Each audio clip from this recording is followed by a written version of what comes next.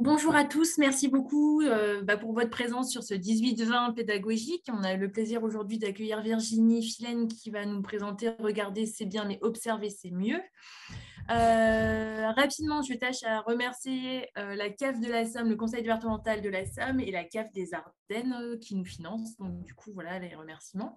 Merci également à Xavier de participer à cette belle soirée. J'espère que ça sera très riche. Et n'hésitez pas à écrire aussi des questions si vous en avez ou des remarques dans le chat et nous, on les posera en allant du coup à Virginie. Voilà, je vous laisse la parole.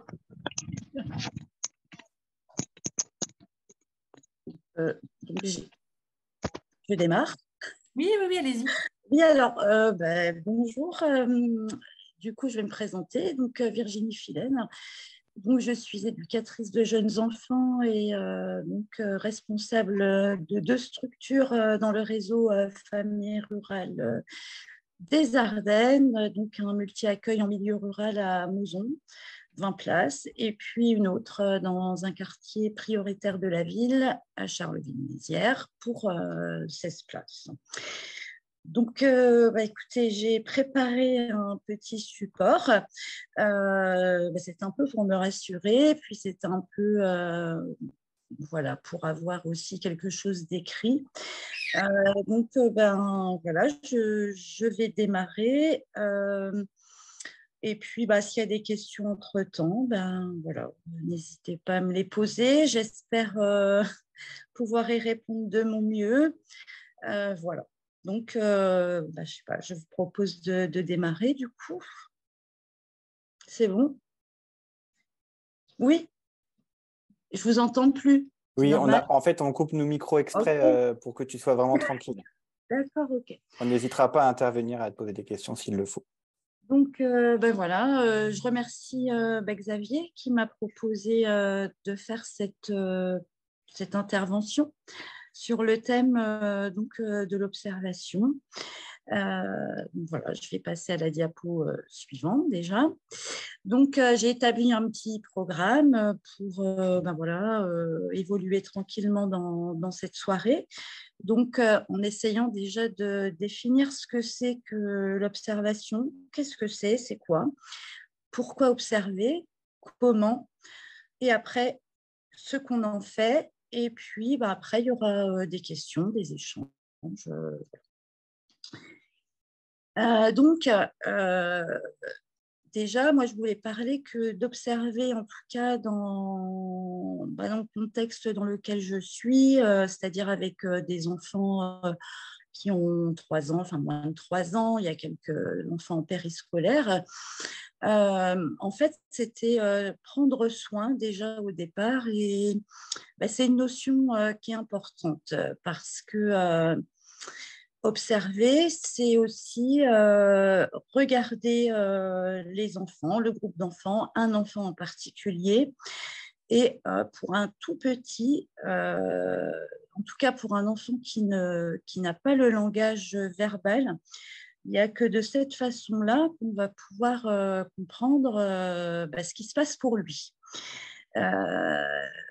Euh, s'il ne peut pas le dire, évidemment, on ne peut pas deviner, on ne va pas non plus jouer de vinette. Donc, c'est vraiment la base de notre travail. et puis pour un tout petit, en fait, on est plutôt dans les moments un petit peu euh, duels, c'est-à-dire euh, le change, le repas, eh bien, euh, observer, c'est aussi lui dire ce qu'on est en train de faire. voilà, lui dire je vois que tu, que tu aimes ce que je te donne, je vois que tu, tu m'aides pour, pour te soulever, pour mettre une couche. Et donc ça, c'est très important parce que le tout petit et surtout le tout petit, tous les enfants en général, enfin les petits qu'on a, en fait, euh, se sentent euh, contenus aussi par euh, bah, ce, discours qu'on va leur apporter parce que c'est une attention qu'on leur donne. Et cette attention-là, évidemment, qu'ils ne comprennent pas forcément tout ce que l'on dit. Mais en tout cas, cette attention-là est très importante parce qu'ils en comprennent l'attention euh, et ils se voient exister dans notre regard. Un enfant tout petit, c'est quand même un enfant qui est aussi dépendant, alors qui est autonome, hein, où il y a de l'autonomie, etc. Mais c'est vrai que euh, de se sentir contenu aussi dans ce qu'on va lui dire, dans ce qu'on va lui montrer de lui et dans le regard qu'on va lui porter, euh, c'est vraiment important. Et là, on est vraiment dans l'observation participante. On est là avec lui et puis on, lui dit, on lui raconte un petit peu ce qu'on voit. Donc, euh, moi, j'avais trouvé une petite définition euh, de l'observation qui est une action de considérer avec attention des choses, des êtres. et je ne vois plus ce que j'ai écrit puisqu'il y a, y a l'écran, mais c'est pas grave. Et donc, euh, l'observation permet à l'adulte de s'ajuster à l'enfant, euh, d'accueillir ses émotions, de, les contenir dans une attention continue. Et dans ces interactions euh, observant-observé, l'observation devient une source d'altérité, d'individuation. Donc, toutes ces petites choses-là, c'est des choses que j'ai mis à la fin du PowerPoint. Il y a des petites références bibliographiques. Euh, donc, euh, bah voilà, vous pourrez les retrouver. Donc, l'observation, c'est aussi un outil euh, du quotidien des professionnels accompagnant un public. Alors, ça peut être bah voilà, les, tout petits qu'on a dans les crèches. Ça peut être aussi bah, des enfants en situation de handicap qui n'ont pas le langage verbal ou qui leur moyen d'expression est limité. Donc euh, voilà, ça peut parler vraiment à, plusieurs, euh, à plusieurs professionnels, à plusieurs euh, professions. Et en fait, l'observation, elle sert à comprendre, c'est la base d'une analyse euh, et j'insiste aussi sur ce qui ne va pas, évidemment, mais sur ce qui va bien aussi, parce que de savoir pourquoi à ce moment-là ça va bien, bah, c'est tout intéressant, puisque euh, du coup, ça, ça, nous permet de comprendre des choses. Et en fait, l'observation sert à quelque chose, elle sert à mettre en œuvre des actions concrètes en direction du public qu'on accueille et, euh, et ajuster donc les actions mises en place je passe à la seconde. Donc, euh, je passe à, la diapo suivante. Donc, euh, comment observer? Donc, euh, il y a plusieurs formes d'observation. Bon, moi, j'ai mis en bleu celle qu'on va peut-être plus utiliser, en tout cas de, ce que je fais moi, de, de ce qu'on pratique. donc, c'est l'observation participante. Hein, j'en parlais un petit peu avant. C'est-à-dire qu'on est dans le contexte de l'observer, c'est-à-dire euh, on fait partie du contexte euh, et euh, on peut être un petit peu en retrait ou être, ben voilà, c'est avec des enfants dans le jeu, dans un champ, dans, dans autre chose, dans le groupe. Alors, ce qui peut être un petit peu, pas embêtant, mais le petit frein, ça peut être qu'on peut peut-être suggérer en étant là euh, que si on n'est pas là dans la non-participante, euh, du coup, on ne suggère pas.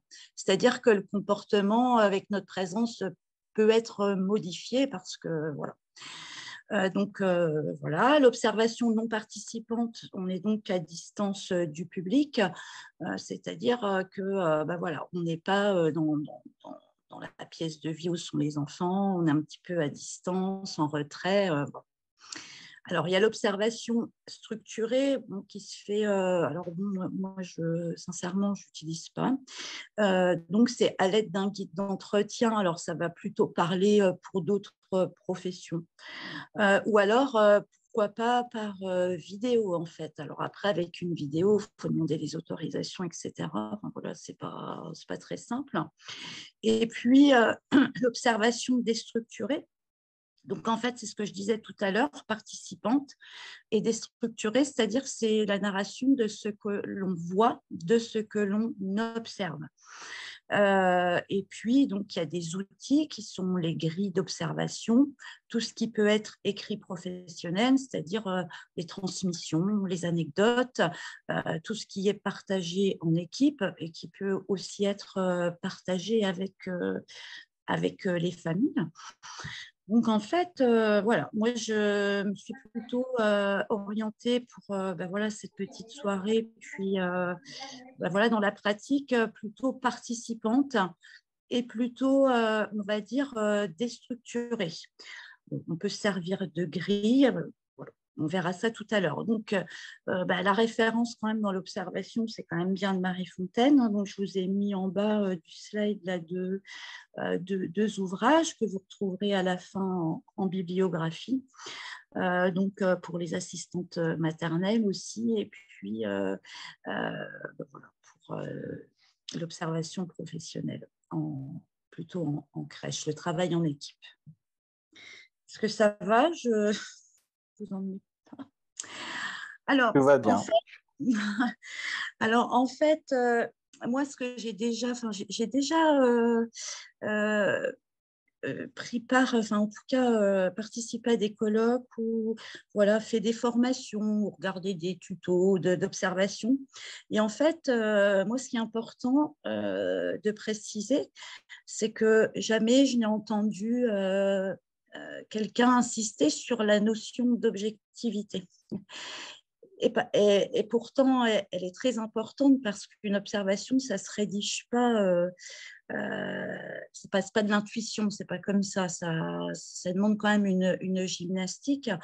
Et en fait, euh, d'avoir quelque chose d'objectif, ben ça, ça, permet que l'observation soit fine et puis ça permet aussi de ne pas en faire une analyse qui soit euh, faussée ou biaisée.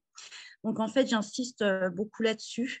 Euh, c'est-à-dire qu'elle doit être objective, comporter des faits bruts. En fait, voilà, je regarde, je vois, je note ce que je, vois. Le plus compliqué, c'est effectivement de ni interpréter, ni juger. Alors, juger, ce n'est pas, forcément c'est pas forcément négatif, hein. ça peut être un jugement positif. Mais du coup, euh, cette notion d'objectivité euh, est très importante. Alors, elle doit être aussi posée dans un contexte précis, c'est-à-dire que euh, quand on observe, c'est toujours bien, c'est important, c'est pas que c'est bien, c'est de d'écrire le contexte. donc on verra tout à l'heure, hein, j'ai un petit peu détaillé tout ça. Euh, donc, il faut absolument que ce soit posé dans un contexte. C'est très important parce que le contexte permet aussi, fait partie de l'observation, permet aussi de, comprendre des choses, en tout cas de prendre le contexte en, compte. Alors, c'est pareil, il y a toujours euh, un objectif derrière une observation euh, parce que peut voir beaucoup de choses. Euh, c'est-à-dire qu'on n'observe pas pour observer, voilà, mais euh, en fait, si on observe aussi, c'est parce qu'on a quelque chose à comprendre.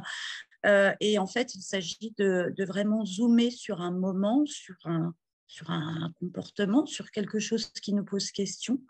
Et donc, on doit poser l'objectif parce que si je vous montre un enfant qui joue avec des cubes, etc., bah, on va voir qu'il empile, qu'il empile pas. Il y en a d'autres qui vont voir, bah, voilà, qui, qui est, voilà, on va voir beaucoup de choses et donc il faut vraiment qu'il y ait, c'est mettre un objectif.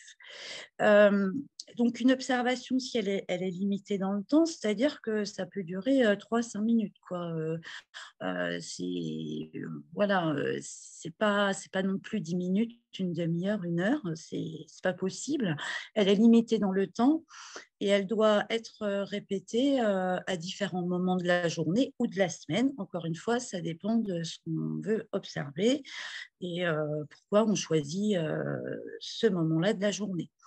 Donc, en général, quand on écrit une, observation ou quand on construit sa grille, parce que ben, là, on va le voir tout à l'heure, j'en ai sorti une petite, mais bon, il y a, de la ressource hein, par rapport à ça. Alors, elle doit comporter des verbes d'action. C'est ce qui va euh, garantir, en fait, euh, qu'on n'est pas dans l'interprétation ni dans le jugement.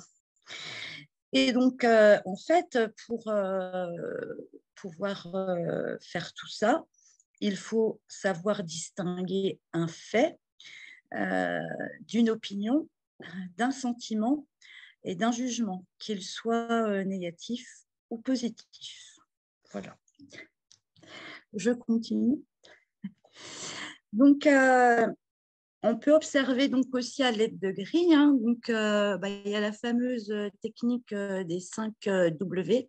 Alors, je ne vais pas vous les dire en anglais parce que j'ai un accent complètement, voilà, pas terrible, mais qui correspond à quoi, qui, quand ou pourquoi. Et donc euh, là, on pose bien le contexte et vous voyez, alors là, euh, j'ai mis celle-là, il, y a quand même pas mal de ressources. On peut construire sa grille en fonction de ce qu'on veut observer.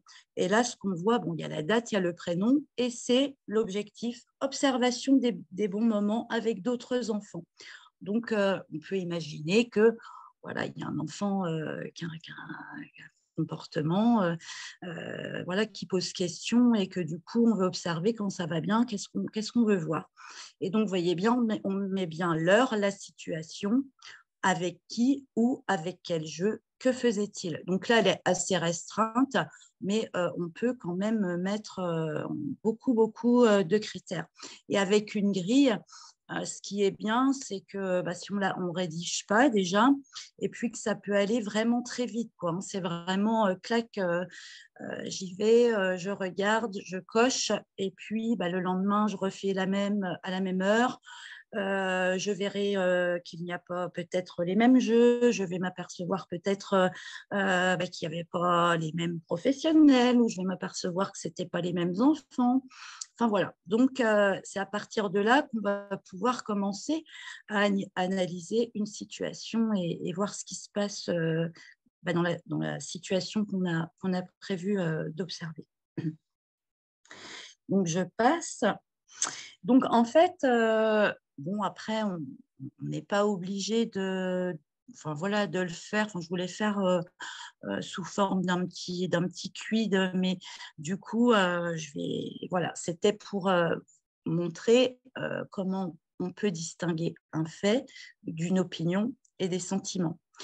Donc, j'ai écrit quelques phrases et donc, voilà, je vais commencer par la première. Donc, son front est bouillant, il doit avoir de la fièvre.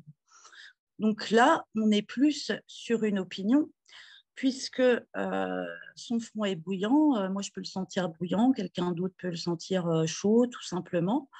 Et en fait, on est bien sur une opinion. Donc là, on est sur quelque chose qui n'est pas, objectif, qui relève d'une opinion. Alors, Lucas mord beaucoup en ce moment, normal, son papa est en déplacement cette semaine.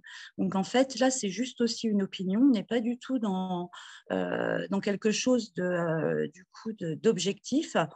Voilà, on se dit ça, il mord beaucoup, le, beaucoup, ça veut dire quoi? Est-ce qu'il a mordu une fois, deux fois, trois fois?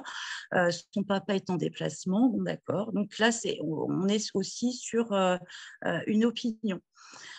Euh, la troisième, pour être consommé, un aliment frais ne doit pas être stocké à moins de 4 euh, degrés C.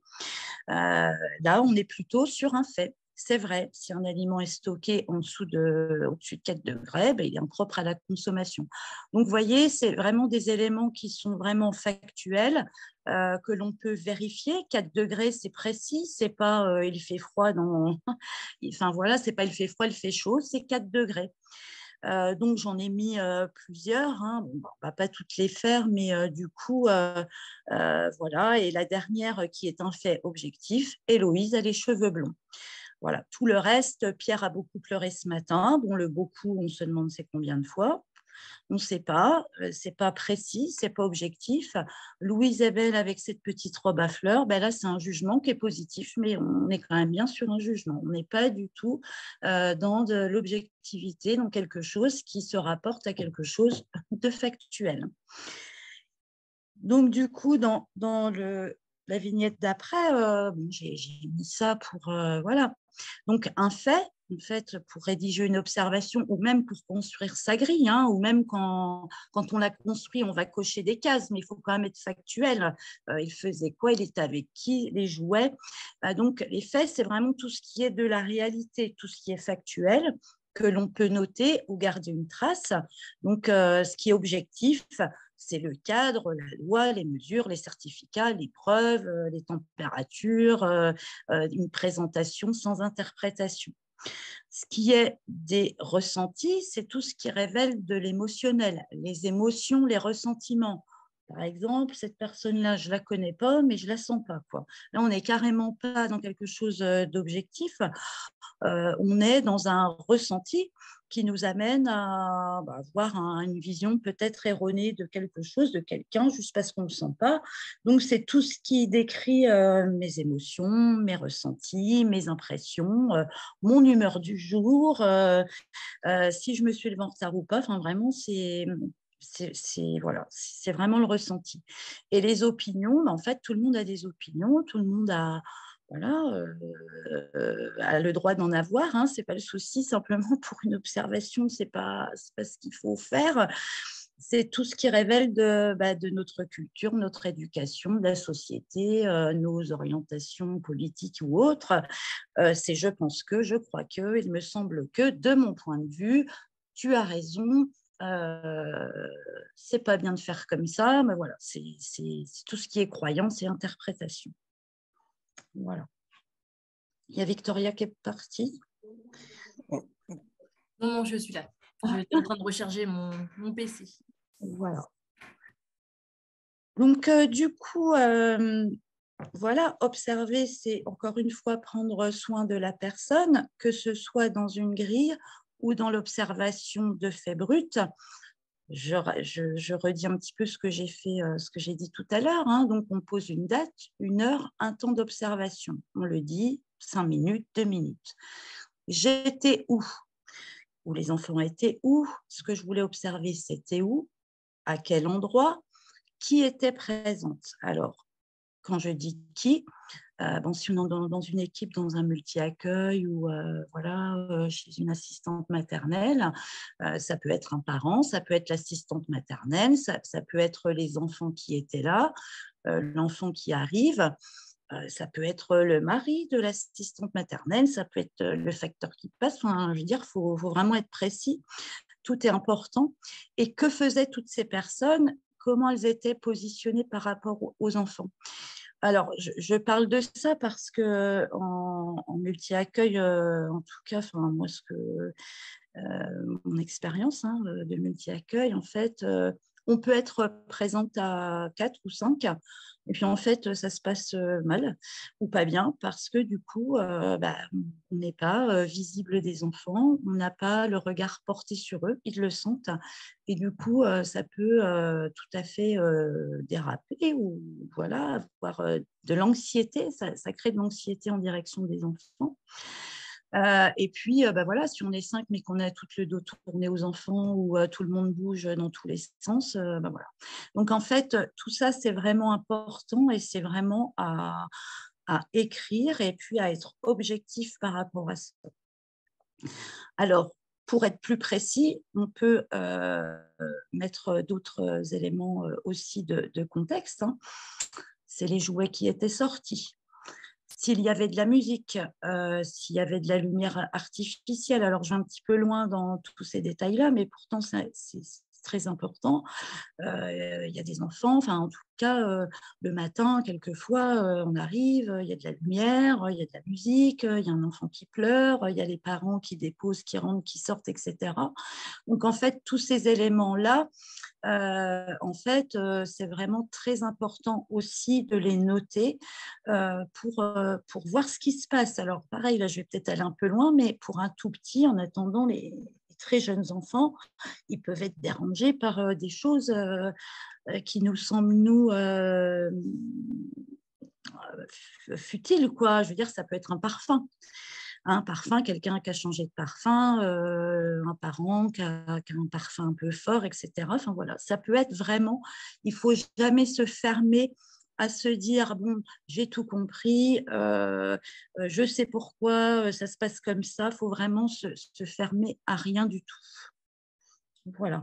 Pareil hein, s'il y avait eu des changements dans l'aménagement est-ce qu'il y a un meuble qui a bougé de place? Est-ce que je sais pas on a changé la cabane de place est-ce que la petite table euh, bah, elle n'est pas mise plus loin. Enfin, voilà, ça peut être euh, beaucoup, beaucoup de choses qui font que bah, voilà, on, a des moments comme ça de flottement et enfin, ça, crée de l'anxiété quoi, pour, euh, pour les enfants. Donc, pour faire une observation, si on va définir un objectif, et cet objectif-là, c'est ce que j'ai besoin de comprendre. C'est ce qu'en équipe, alors j'ai mis jeu, mais je parle pas de moi, hein, c'est ce qu'on a tous besoin de comprendre en équipe, ou l'assistante maternelle qui est chez elle, j'ai besoin de comprendre quelque chose. je, je n'arrive pas à, comprendre. Euh, voilà. Donc, sans, sans, objectif, en fait, euh, il est vraiment euh, difficile de bien voir car bah, il y a plein de choses à voir, il y, a trop de choses.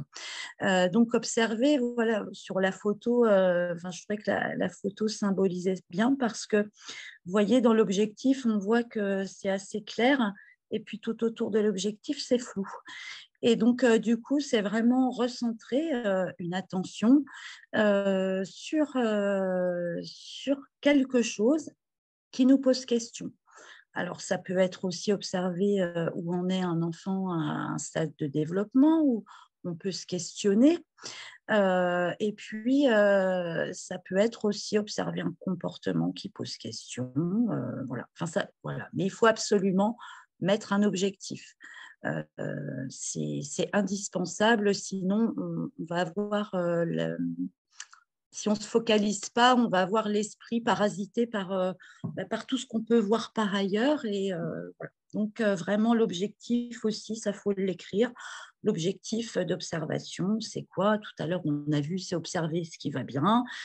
ça peut être observer. oui? Oui, Xavier? Non, non, il y avait un micro qui s'est allumé, je viens juste de l'éteindre. Ah, d'accord, ok. Donc, euh, voilà. Euh, et alors, après tout ça, alors déjà, c'est un entraînement. Hein, je veux bien. Enfin, voilà, c'est. C'est observer quand, on dit j'observe, euh, oui, on regarde, hein. on peut regarder quelque chose, mais observer, il faut vraiment s'entraîner avec euh, tout, ce que, euh, tout ce que ça comprend, hein, ce que j'ai dit, l'objectivité, euh, vraiment mettre de côté les jugements, les interprétations, avoir un objectif, avoir une certaine concentration, hein, parce que même si on fait de l'observation participante, on est avec l'enfant, voilà, bah, du coup, on est quand même bien dans l'objectif de voir quelque chose. Et puis, donc, on peut s'observer, ça peut être, euh, enfin voilà, j'ai n'ai pas trouvé le moyen de le faire ici. Je, voulais trouver une petite euh, vidéo et puis euh, se rendre compte qu'on pouvait observer beaucoup de choses. J'ai pas trouvé quelque chose qui me, convenait, donc je l'ai pas, l'ai pas fait. mais on peut très bien s'entraîner aussi à, ben voilà, j'ai une page de magazine sous les yeux. Alors, je l'observe et je la décris je l'observe et je la décris et je me rends compte si j'ai fait des interprétations, si euh, voilà, je, peux, je peux euh, m'entraîner aussi comme ça, observer. Euh, et puis après, ben, l'objectif, c'est quand même qu'on observe le public qu'on accueille. Et donc, en fait, aussi, c'est vraiment faire entrer l'observation dans les pratiques professionnelles et dans le cadre du projet pédagogique. Euh, parce que bah, on peut se dire, oui, bon, on n'a pas le temps, euh, voilà, c'est compliqué. Après, euh, après, du coup, une fois qu'on a voilà, qu'on a décidé ou qu'on est toutes OK pour se partager les observations, bah, du coup, c'est bien aussi de l'écrire dans, dans, le projet pédagogique et, c'est bien de dire euh, comment on fait. Est-ce qu'on fait de l'observation participante? Est-ce qu'on fait des écrits? Euh, Est-ce qu'on euh, met une anecdote tous les jours? Enfin voilà, que sais-je, mais en, attendant, c'est vrai que c'est toujours bien de d'avoir ça, de l'écrire. Et en fait, ensuite, les observations, elles sont. Alors, j'ai mis les mots-clés en, gras. Hein. Donc, euh, ça sert à partager ces, observations en équipe pour analyser des situations. Et en fait, ça sert à ajuster ces pratiques aux besoins du public accueilli et éventuellement élaborer euh, des projets.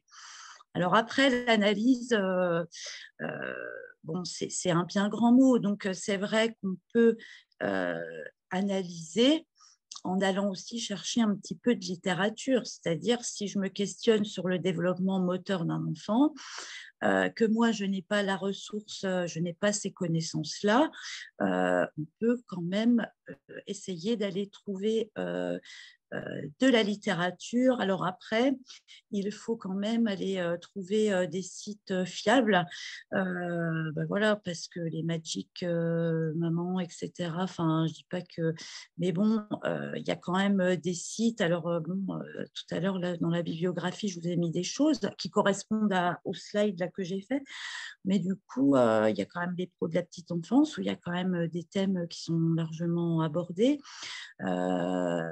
Vous avez, euh, alors je connais ça, mais bon, euh, Google Scholar aussi, où il y a pas mal de, petites recherches. Euh, il y a Carninfo, euh, bah, il y a tous les magazines, bah, voilà, le journal des EJE, des choses comme ça, où vous pouvez quand même trouver des ressources. Quoi, hein. voilà, et donc, voilà, élaborer des projets aussi, parce que quand on veut faire un projet en équipe, un projet, hein, il, y a, il y, a, une méthodologie, c'est-à-dire qu'un projet, on ne dit pas, bah, tiens, je vais faire ça parce que tiens, ça me plaît.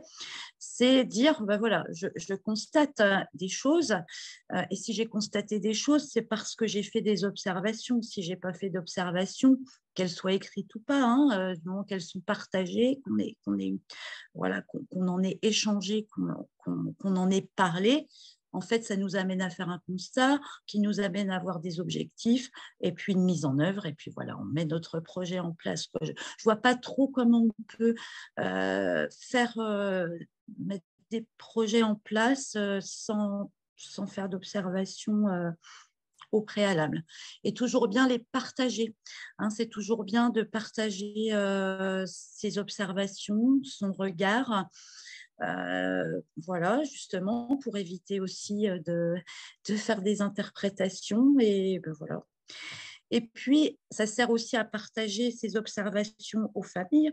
Donc, en fait, euh, ça peut être fait par le biais d'anecdotes. ben voilà, on, on, va faire une petite, on va, on va dire tous les soirs une petite anecdote de l'enfant pour que le parent le visualise.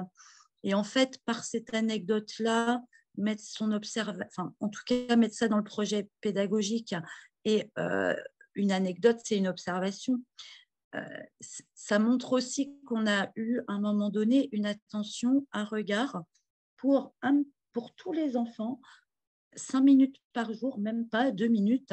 Alors ça peut être vraiment quelque chose de très bref, mais en attendant, euh, ça, ça, ça permet de, voilà, d'avoir une attention individuelle pour chaque enfant et puis de le restituer aux parents, bah, ça lui donne une image euh, euh, de, leur enfant dans la journée. Et puis, bah, ça, enrichit de toute façon aussi euh, la relation parent-enfant professionnelle. Voilà.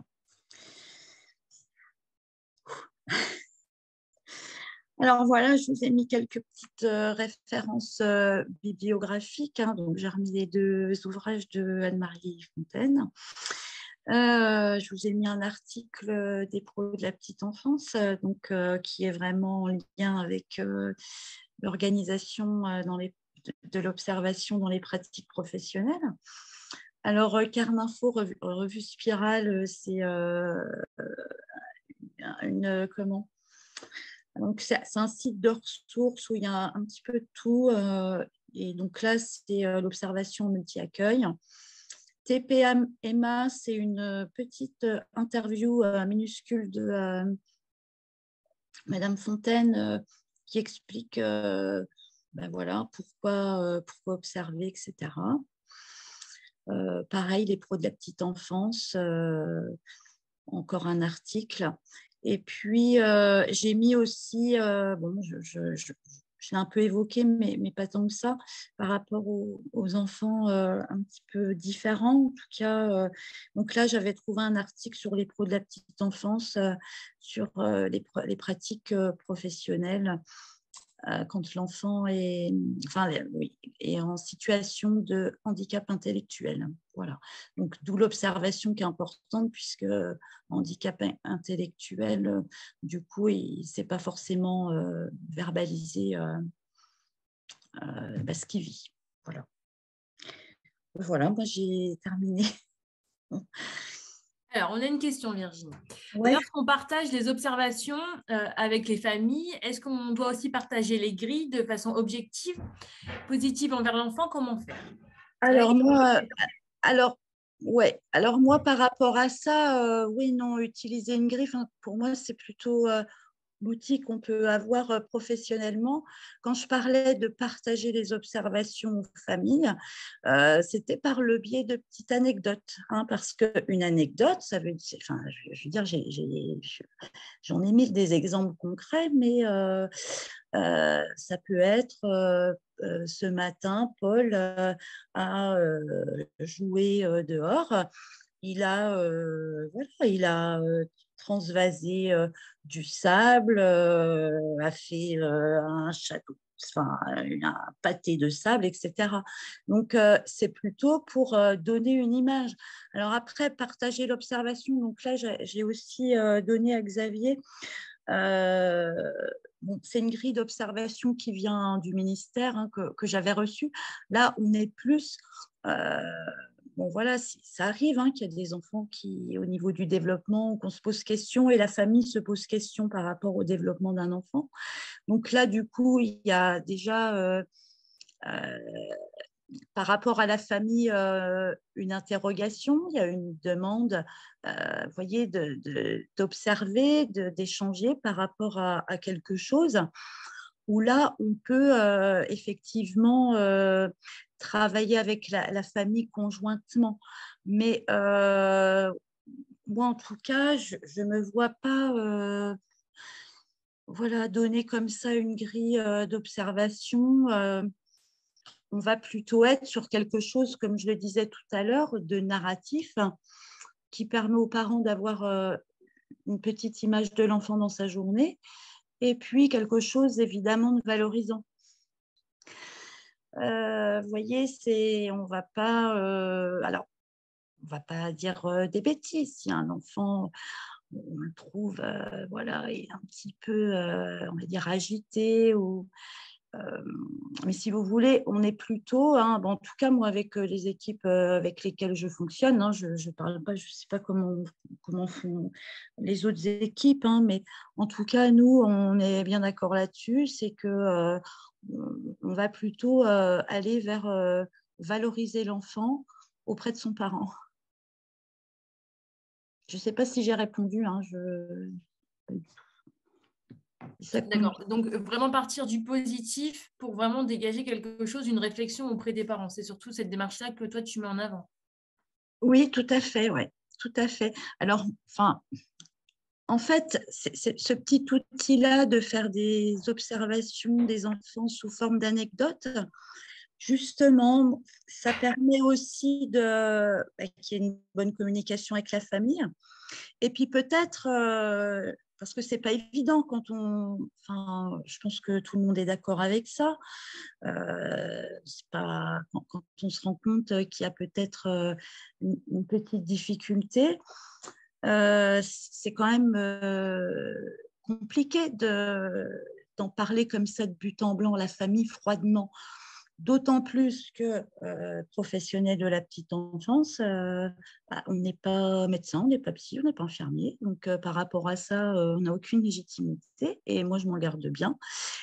Mais du coup, avec comment, cette observation sous forme d'anecdote, comme c'est objectif, on peut s'en servir déjà pour euh, envoyer des petits, des petits signaux. Vous voyez, euh, moi j'ai accueilli euh, plusieurs enfants qui, avaient des troubles qui ont été vérifiés, diagnostiqués un petit peu plus tard ou, même pendant l'accueil. En fait, de communiquer avec la famille, moi j'ai pu dire, ben, Oh, je dis, regardez, euh, bah, venez voir, regardez, il a fait une belle collection euh, d'objets. Euh, enfin, j'ai dit belle, hein, c'est un jugement. Alors, je me reprends parce qu'il a fait une collection d'objets, il les a bien alignés. Et là, je suis objective. Je suis pas en train de dire euh, vous voyez, je ne suis pas en train de dire euh, qu'il a un trouble, qu'il a quelque chose, je m'en garderai bien, parce qu'encore une fois, euh, moi, je ne suis, suis pas médecin. en attendant, et voilà, et donc ça permet un échange. Ah ben oui, à la maison, c'est pareil, ces petites voitures, il aimait bien comme ça. Puis si quelqu'un y touche, alors là, il se met en colère, il n'est pas content. donc, vous voyez, ça, permet de, de, partir sur un sujet moi, je, me suis déjà dépatouillée de situations comme ça avec ces petites observations-là, parce que ce n'est pas évident. C'est vraiment pas évident. Et par rapport à bah, cette situation-là, euh, euh, donc du coup, euh, on avait bien échangé, avec la maman, mais et le, papa, je ne le voyais pas trop. Mais il avait pas, il n'y avait pas de, elle s'en rendait pas trop con. Quoi. Enfin, elle, euh, elle, me disait oui, fais ci, fais ça. Voilà. Bon, il était non-verbal hein, aussi. Euh. Et puis en fait, euh, c'est après, elle m'a demandé un jour si je pensais qu'il n'était pas sourd parce qu'il bah, ne répondait pas à son prénom. Je lui ai dit écoutez, moi j'ai testé, voilà, quelquefois il se retourne, voilà. Et en fait, bah, elle a pris rendez-vous avec le médecin, l'ORL, il n'y avait aucune surdité. Et, moi, j'ai quand même, euh, parce qu'en plus, il fallait qu'il ait une ventoline, donc il fallait faire un, un, PAI avec le médecin. Et moi, j'avais quand même mis un mail au médecin en lui disant, monsieur, euh, je constate que euh, voilà, cet enfant n'adresse pas le regard, il n'y a, a, pas de langage, etc. Donc, je lui ai fait des petites observations. Et en fait, le médecin était dire à la maman, la directrice de la crèche, pense qu'il est autiste. Alors que moi, je n'avais absolument pas dit ça et je m'en serais bien gardée. Et donc, j'ai pu dire à la maman, Madame, je n'ai jamais dit ça, regardez ce que j'ai écrit. je dis, ce sont des choses qu'on s'est dites, euh, que, vous constatez aussi et que j'ai pu vous dire. Donc euh, voilà, mais c'est pour ça qu'il faut vraiment faire attention euh, dans ce qu'on écrit, à qui on le dit, ce qu'on écrit et voilà, ce qu'on écrit. quoi. Je ne sais pas si j'ai répondu à la question. Moi aussi, parce qu'ils ont, ils ont la même personne a dit d'accord, merci. Donc, euh, ah bon? mais il y a une autre question encore. Euh, mais comment amener aux familles des situations avec l'enfant qui sont problématiques? Alors, je n'ai pas compris, tu peux répéter? Alors, comment amener aux familles des situations avec l'enfant qui sont problématiques Qui semblent problématiques. Qui sont problématiques, oui. Pardon, mais qui, qui, qui est-ce qui est problématique? Peut-être laisser Emmanuel, si elle le souhaite, peut-être poser la question. Est-ce qu'Emmanuel, vous souhaitez poser votre question pour qu'on puisse vraiment voir un petit peu, euh, peut-être en échanger ensemble?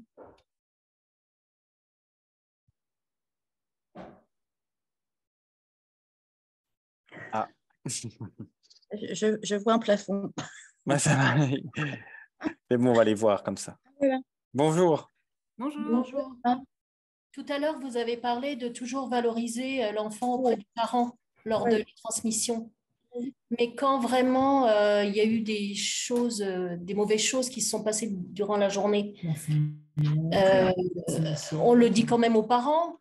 Alors, on n'est pas là pour abaisser l'enfant, mais on peut quand même le dire aux parents avec des mots. Ben, on, peut dire, oui, Bon, alors, le, le, risque, en fait, alors après, vous dites des mauvaises choses. Moi, c'est ce mot mauvaise chose. C'est parce que je n'ai pas, trouvé, pas trouvé les bons mots. Euh, je sais pas. Si l'enfant a, dire... si l'enfant a mordu plusieurs fois, s'il a acheté son assiette, je vous prends des exemples. Hein. S'il a tapé un camarade. Euh, ouais. Euh, alors, par rapport à ça, c'est vrai que on va, alors c'est pas, on va pas mentir, on, va plutôt aller, bah, euh, voilà, euh, est-ce qu'il serait pas euh, un petit peu fatigué en ce moment On sent un petit peu, un petit peu agité, voilà. Mais le risque en fait, et le, risque, bah, vous voyez, c'est que l'enfant il soit puni. Alors moi, c'est quelque chose qui serait plutôt insupportable en tout cas dans, de penser que, parce que ça peut arriver, que l'enfant euh, soit puni vraiment après coup, mais très longtemps. Je veux dire, il, a, Vous voyez. Et donc, déjà, l'enfant ne comprendrait pas pourquoi bah, il serait au coin, parce que ça peut arriver, on peut le, on peut voilà, le punir, le gronder, le malmener pour un truc qui s'est passé à la crèche. en même temps, entre nous, les enfants, quand ils sont en crèche, alors je ne dis pas qu'on les laisse faire, hein, on leur laisse dire, enfin voilà, il y a un interdit de poser, voilà, regarde, tu lui as fait mal, il pleure, etc. Mais en attendant, c'est aussi le, temps de la crèche et euh, c'est pas, pas mentir, mais je ne vois pas euh, quel serait l'intérêt de, vous voyez, d'aller, parce que vous imaginez, vous êtes parent, vous déposez votre enfant à 8 heures du matin, vous venez chercher à 18 heures, vous êtes, vous rentrez, vous êtes un petit peu, vous êtes content de le voir, mais bon, vous avez fait votre journée, et là, euh, tous les jours, on vous dit, euh, votre enfant, il est comment? Votre enfant. Ce jour-là, on ne dit pas la vérité aux parents, alors mais, euh, après, ce n'est pas de ne pas dire la vérité. S'il a mordu et puis que ça, voilà, en ce moment, c'est beaucoup. Après, euh, il faut se poser la question, encore une fois, mais pourquoi il meurt? Parce que s'il meurt, c'est qu'il se passe bien quelque chose. alors, alors euh, on va pouvoir avoir tendance à interpréter, hein, comme la petite phrase de tout à l'heure, hein, bah, du coup, euh, son père en déplacement, donc voilà, bon, ok, mais on n'en sait rien finalement. Donc, du coup, euh, s'il mord, c'est peut-être aussi euh, euh, parce qu'il se passe quelque chose à la maison, mais c'est peut-être aussi parce que nous, bah, dans notre quotidien, bah, il y a des trucs qu'on ne fait plus, où on ne fait pas attention, que l'enfant est stressé. Que... Vous voyez, donc, du coup, aller dire il, a mordu, moi je veux bien, mais du coup, c'est à nous, c'est nous hein, les adultes qui les avons euh, la journée, c'est nous euh, qui, sommes responsables d'eux. Et donc s'ils mordent, euh, pardon, mais on peut avoir notre responsabilité responsabilité aussi là-dedans et on peut le dire. oui, bah, écoutez, il a mordu un petit copain. Alors en revanche, quand il y en a un qui se fait mordre, jamais au grand jamais, personne ne dit qui a mordu, hein, parce que bah, là, au bout d'un moment, euh, après, euh, c'est pas, pas, c'est pas possible, quoi.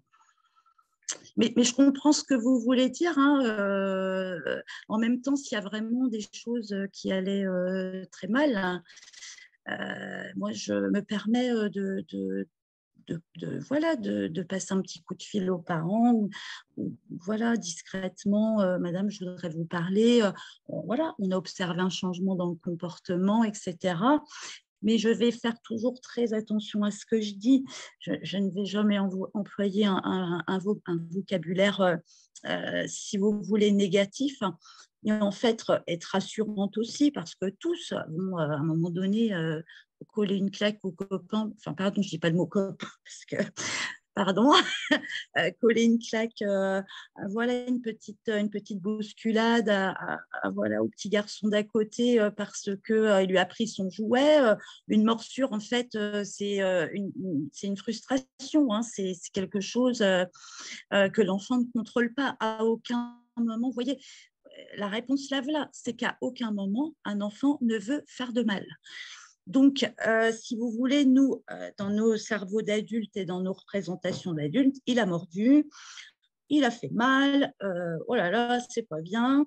et si vous voulez, le parent, quand on, va lui dire ça, ouais, il a fait mal à quelqu'un, c'est inadmissible. et donc, après, on contrôle plus. Hein, les enfants rentrent à la maison, pas, on ne sait pas. Et moi, laisser un parent partir avec son enfant euh, sur un, quelque chose de négatif comme ça, euh, non. Ou alors, il faut toujours faire le pendant avec du positif. Toujours, toujours, toujours. Il a bien fait quelque chose dans la journée. Euh, on ne va pas lui dire, oh là là, il a mordu. Vous voyez? Toujours. Il y a toujours du positif. Et encore une fois, quand ils sont dans les crèches ou. Enfin voilà, quand ils sont sans leurs parents, c'est à nous de, de, gérer ça. Alors, je, je, sais que ça va très vite, hein, euh, je suis sur le terrain un petit peu tous les jours. Mais voilà, moi, ça, en tout cas, par rapport à... Il veut pas faire mal. il veut pas faire mal. Il a quelque chose. Il y a quelque chose qui le gêne. Il est stressé. Et, il ne sait pas le dire, voilà. Et, souvent, hein, la morsure, alors moi je le remarque, mais vraiment, c'est, ça va tellement vite. En fait, c'est dès qu'on a plus l'attention sur l'enfant, craque. Allez hop, il passe, il y en a un côté. Et en fait, c'est vraiment des enfants qui cherchent de l'attention. Donc, je, ne me vois pas, vous voyez, en remettre une couche auprès du, parent le soir. Vous voyez? Mais je ne mens pas. Hein. Et s'il y a vraiment des choses euh, compliquées où il faut les dire, euh, bah, il n'y a pas de souci. Euh, moi, je, je, vois la famille en étant tout à fait rassurante et juste en essayant de comprendre les choses. Voilà.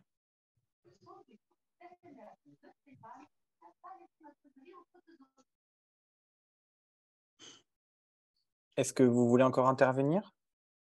Ou c'est bon? C'est bon, ils ont coupé la caméra. Alors, il y a aussi euh, une autre question. Peut-on quand même faire en trans... Alors, je recommence, pardon. Peut-on quand même en transmission faire passer un jugement qui met en valeur l'enfant, ce qui facilite quelquefois la communication? Je parle en verbal. Oui, mais après, voilà, c'est pour les observations. Euh, en fait, c'est pour s'entraîner à observer. Il faut entraîner son esprit, son cerveau à, essayer d'en mettre le moins, mais aussi, quand on parle, on en fait des jugements. Euh, tout ça, bien sûr. Euh, après, euh, bien sûr qu'on peut, qu'on peut voilà, valoriser l'enfant. c'est juste, moi je vous parlais juste de l'observation hein, pour qu'elle soit objective. Pour, parce que si on met des jugements, bah, ça peut fausser l'analyse derrière. En fait, une observation, il y a une analyse et ensuite, avec cette analyse, on va mettre en place des choses. On va faire un projet, on va euh, s'organiser en équipe, on va, on va, faire des choses pour que la situation euh, s'améliore. Mais euh, tout à fait, on va pas, voilà, aux parents, on n'est pas des robots, quoi. Aux parents, on va être bah oui, comment dire, ça va favoriser. Bon, après, il ne faut pas en faire des tonnes non plus, quoi, parce que on n'est pas là non plus pour. Mais vous voyez, par contre, euh, c'est vrai qu'il y, a des jugements de valeur qu'on peut faire et, ça, c'était. Euh, enfin, enfin, j'avais fait une, formation aussi, euh, et puis je crois que l'équipe l'avait faite. C'est vrai que vous arrivez le matin, vous avez deux petites filles, il y en a une, euh, puis il y en a une qui arrive avec une petite robe à fleurs, et là on lui dit, oh là, t'es super jolie avec ta petite robe à fleurs. Alors c'est sympa, c'est pour la petite, c'est valorisant encore, c'est qu'une robe, mais pour la petite fille qui est là, qui n'a pas de robe, euh, vous voyez, ça voilà, je pense qu'il faut rester quand même le, plus neutre possible, alors être agréable, être euh, rassurant, être contenant, être euh, ben voilà. Euh, mais du coup, c'est vrai que pour l'observation en voilà, les, jugements positifs, vaut mieux, mieux pas. Je ne sais pas si j'ai répondu, ça correspond à la question. Je pense. Victoria dans le chat a mis aussi le guide euh, du gouvernement sur euh, l'observation. Ah oui? Euh, donc, n'hésitez pas à cliquer dessus pour y avoir accès. Est-ce qu'il y, est y, a des personnes qui n'ont pas accès au, chat pour écrire la question et qui souhaitent poser une question oralement à Virginie? Ou pas?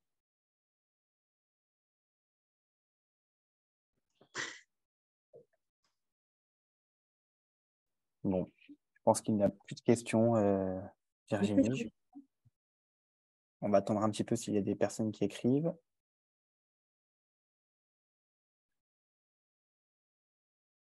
Ah, si, voilà. Comment peut-on observer correctement une trentaine d'enfants dans un périscolaire et les victimes, à part les consoler, comment réagir? Ah, alors, comment? Alors, la première question. pas facile, hein. elle n'est pas facile. Alors, dans un périscolaire, 30 euh, enfants. Bah, en fait, euh, il faut euh, prévoir ce temps-là déjà qui n'est pas long. Hein, c'est 2-3 minutes, 5 minutes. Donc en fait, faut en parler en réunion d'équipe, du coup. Si quelqu'un euh, a besoin d'observer, si ça peut être un besoin d'équipe, mais si quelqu'un dans l'équipe a un besoin particulier, bah, du coup, je pense que comme dans les multi-accueils, hein, les périscolaires font des réunions d'équipe. Bah, en fait, c'est d'en parler et c'est de, en équipe, trouver un temps, s'organiser pour que ce temps-là d'observation soit, euh, soit faisable. C'est pas long.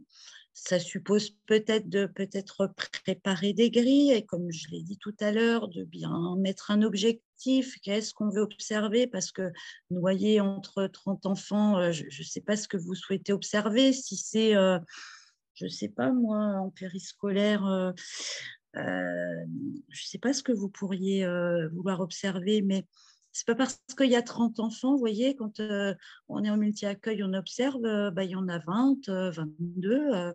Il y a des bébés à côté qui peuvent aussi pleurer, donc on est parasité aussi par, par plein d'autres stimulations.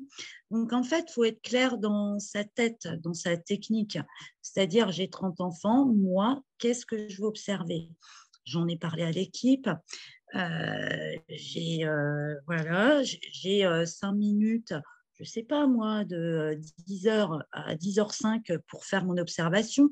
Je, m'organise pour être là, mais peut-être un peu en retrait. Et encore une fois, c'est soit je suis là ou en retrait, ça dépend aussi de l'objectif.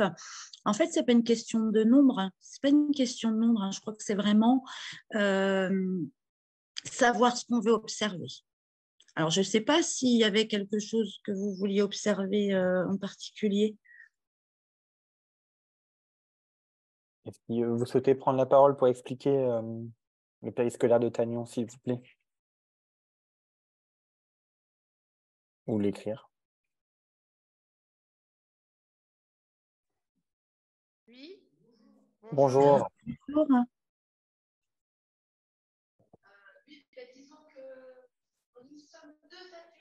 Alors, vous êtes un peu loin du micro, on ne vous entend pas du tout.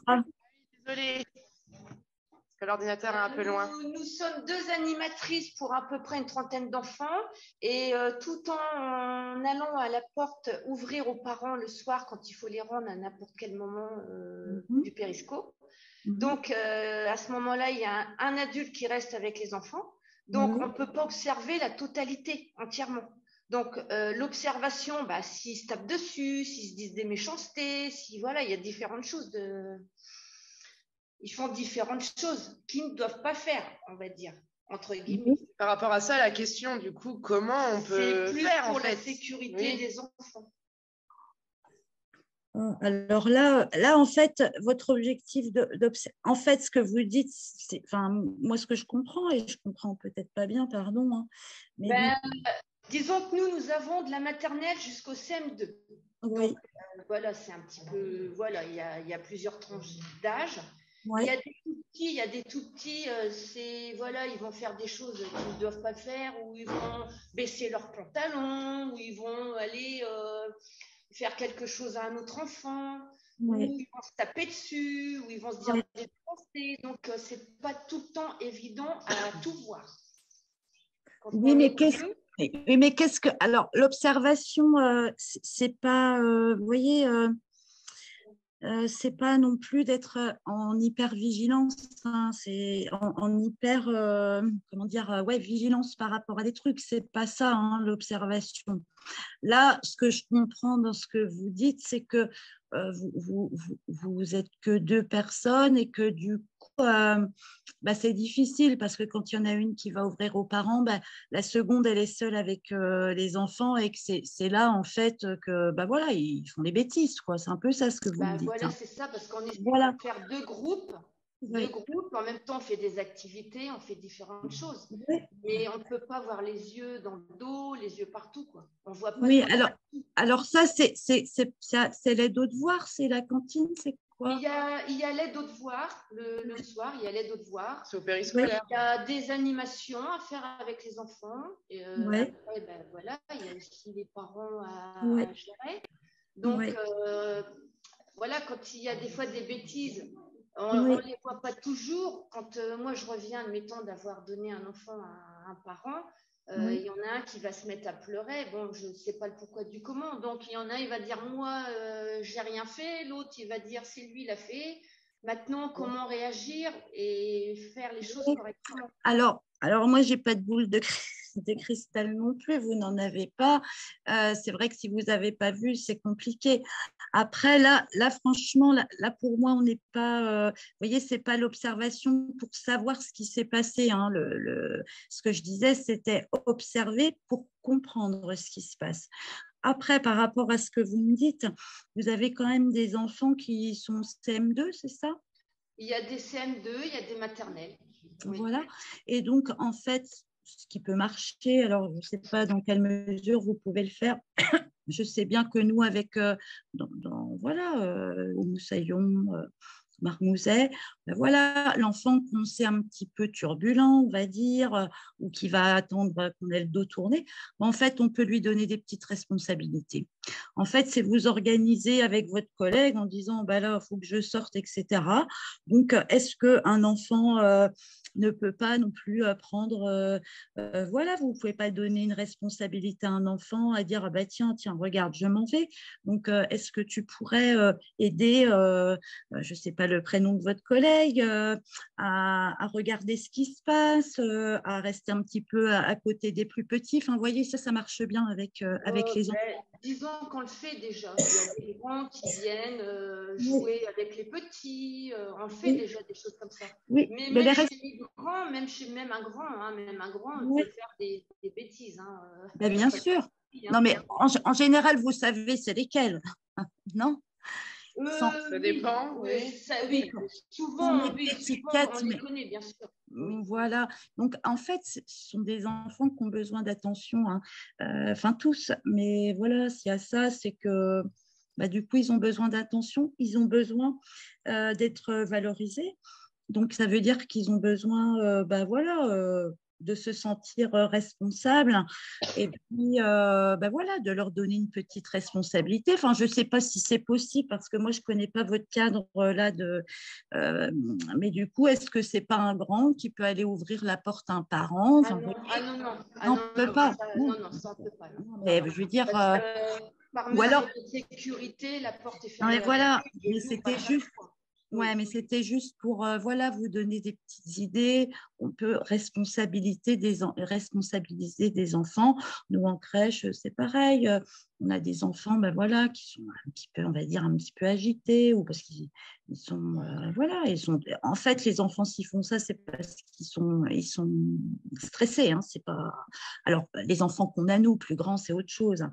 Euh, mais du coup, c'est dire, bah tiens, regarde, viens avec moi, j'ai besoin de toi euh, pour aller, je sais pas, ranger. Montre-moi où c'est. Tiens, le placard où on range ça. Et en général, bah, l'enfant il est tout content parce que il a un moment avec nous et puis on lui a fait confiance, quoi. Donc voilà. je ne sais pas si ça répond.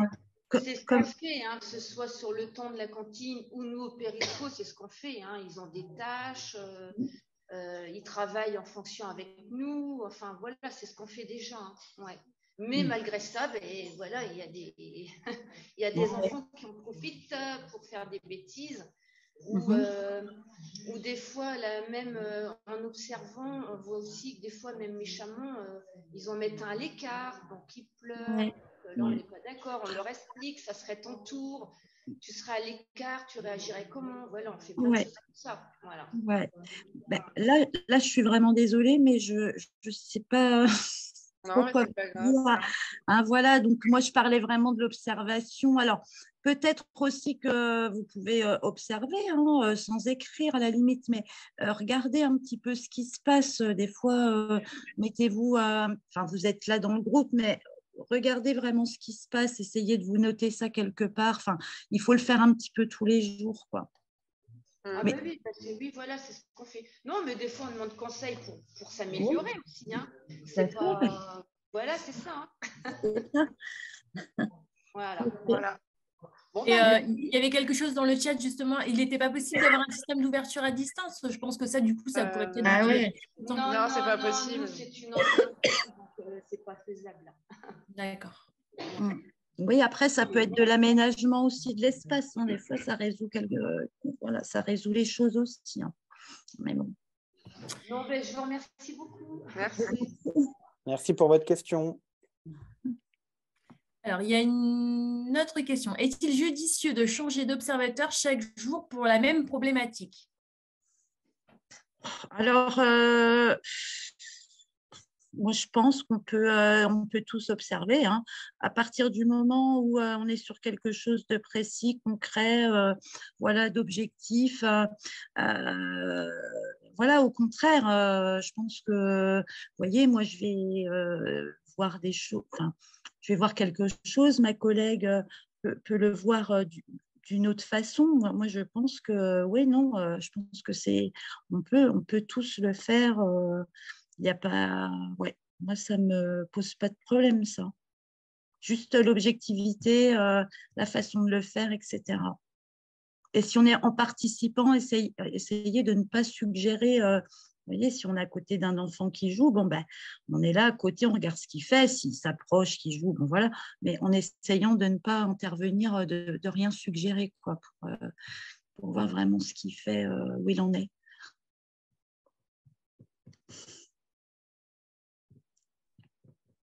pour l'instant, il n'y a plus de questions, Virginie. On va, attendre un petit peu si quelqu'un veut encore en poser une ou pas.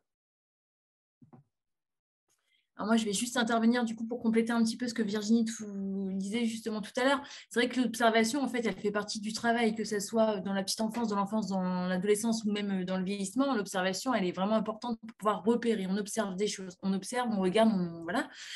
Euh, ce que j'entends souvent moi, en crèche, et on n'a pas le temps d'observer, ou alors, euh, oui, mais quand on observe, les collègues nous disent on fait rien. Mais mm. moi, une professionnelle qui est au sol, qui observe des enfants, qui les regarde jouer, qui les regarde en fait interagir les uns avec les autres, c'est déjà faire quelque chose. Et c'est quelque chose de très important dans le travail.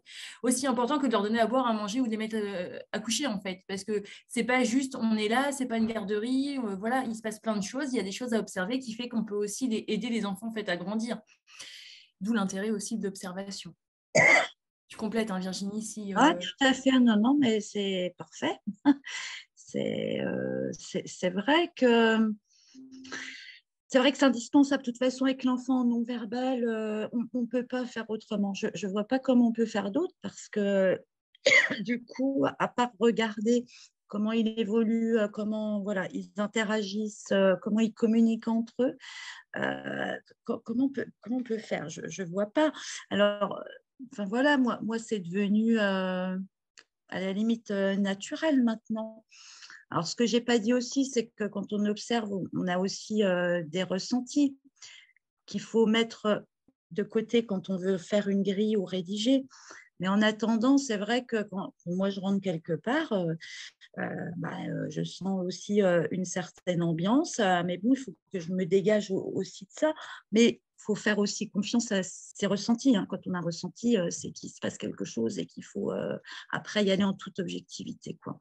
Mais euh, ouais, c'est c'est très important. Alors après, ben, on va, quand on est bien entraîné, hein, quand ça fait vraiment partie des pratiques, bah, du coup, on est là, on observe, et puis, euh, paf, euh, on analyse et puis on est capable de, se réajuster tout de suite, en fait. Et donc, ça, c'est quand on arrive à faire ça, c'est vraiment bien parce qu'on on est vraiment, euh, on répond vraiment aux besoins de l'enfant en situation.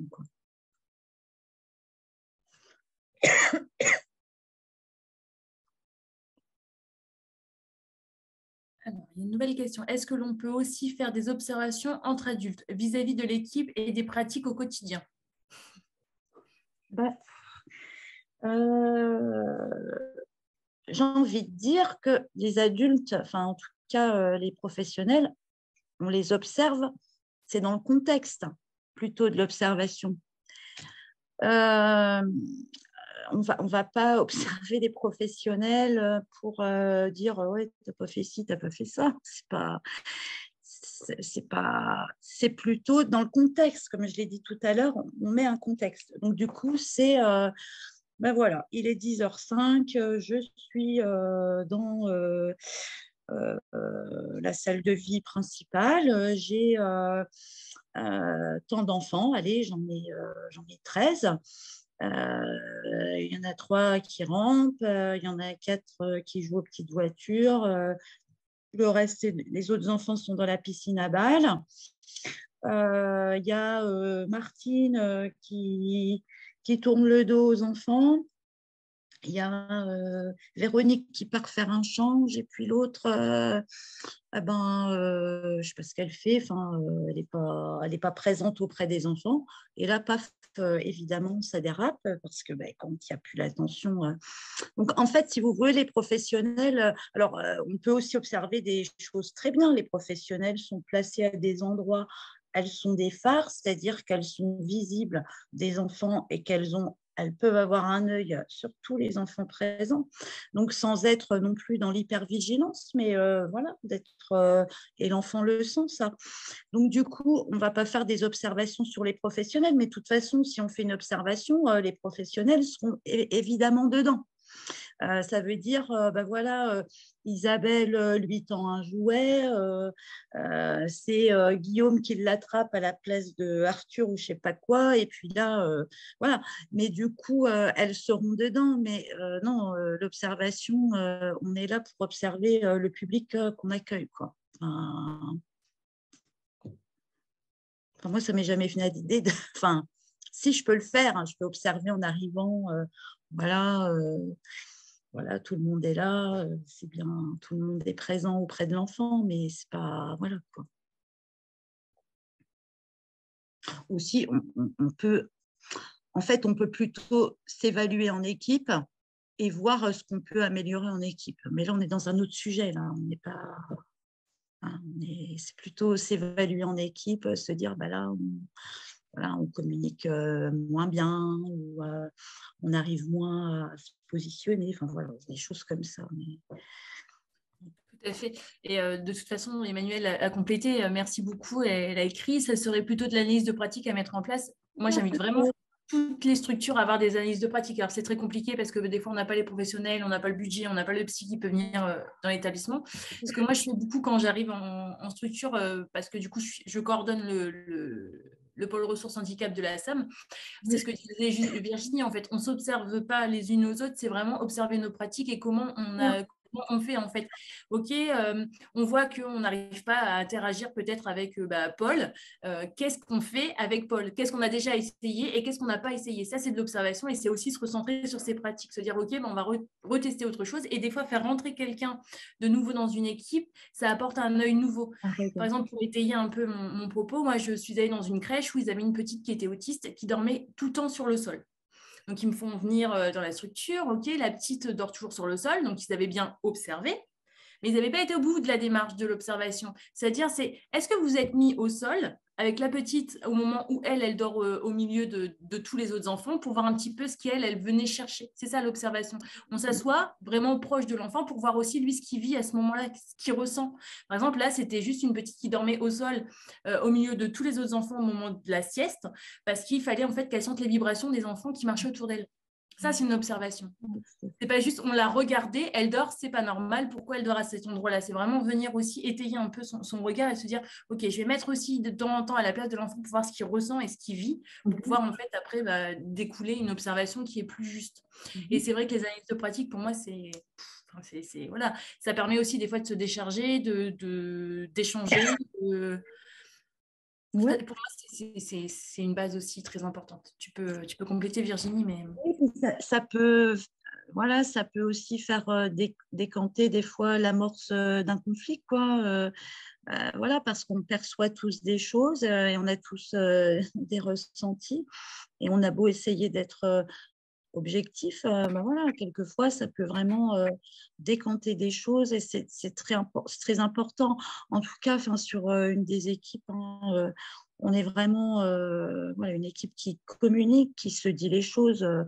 on n'y met même pas les formes puisqu'il n'y a pas besoin de s'y mettre parce qu'on on est vraiment dans, quelque chose où on va toutes vraiment dans le même sens. Elles ont toutes cette posture-là, toutes. Donc, c'est vraiment super de travailler dans une équipe comme ça. Mais c'est vrai que, voilà, voilà, moi, je, me dis plutôt s'évaluer en, équipe, c'est-à-dire voilà, se dire là, en ce moment, pareil, sur les temps de transition, ça ne va pas. Bah, qu'est-ce qu'on fait ensemble? C'est pas un tel, un tel qui n'a pas fait, c'est juste que là, on ne se coordonne pas bien. Donc, on y va, on, essaye de comprendre pourquoi, et puis on travaille ensemble sur, ce, sur, ce, sur, sur ça. Voilà. Ça marche. Donc, il y a encore une question. Alors, vous parlez de ressenti, mais c'est compliqué pour être objectif. Faut-il avoir alors un temps d'attente pour se recentrer? Bah, en fait, c'est ce que je disais tout à l'heure, c'est un entraînement. Hein, euh, et puis après, euh, ça, dépend de sa perception des choses. Euh, moi, je perçois aussi les choses beaucoup dans le sensoriel. Donc, je suis beaucoup dans je, sens, j'ai l'impression que, etc. Mais ça, c'est moi, Virginie, qui suis chez moi à la maison. et puis, je peux ressentir aussi des choses, bien sûr, à la crèche. Mais du coup, c'est ce que je disais, c'est vraiment un, entraînement. Hein. C'est un petit peu. Alors après, moi, je veux bien donner, le PowerPoint. Hein, Voilà, le slide où il y a ce que je ressens, les faits, etc. En fait, il faut vraiment s'entraîner. Je, je voulais le faire, je me suis dit, oh, je sais pas si c'est le sujet, mais c'est de mettre une page de magazine et puis s'entraîner à juste décrire ce qu'il y a sur le magazine.